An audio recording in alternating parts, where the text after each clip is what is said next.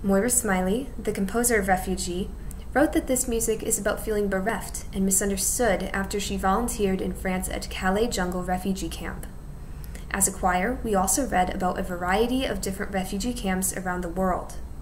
As we read, we learned about tragedy and violence, but we also learned about tenacity and hope. We learned about humanity. Moira Smiley writes that we are all much closer to being refugees than we would like to imagine. It is an honor to sing this song.